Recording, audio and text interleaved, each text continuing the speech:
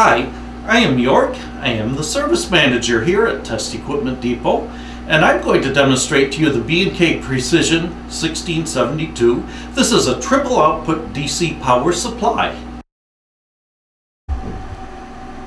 It has two variable 32 volt 3 amp outputs and one fixed 5 volt 3 amp output.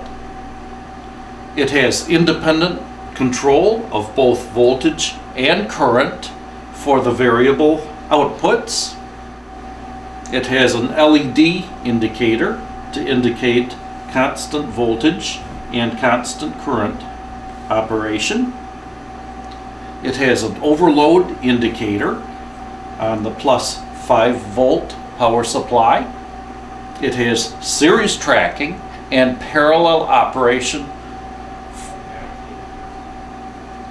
It is a triple output unit.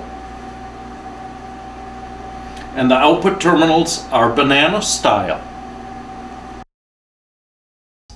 Thank you for watching.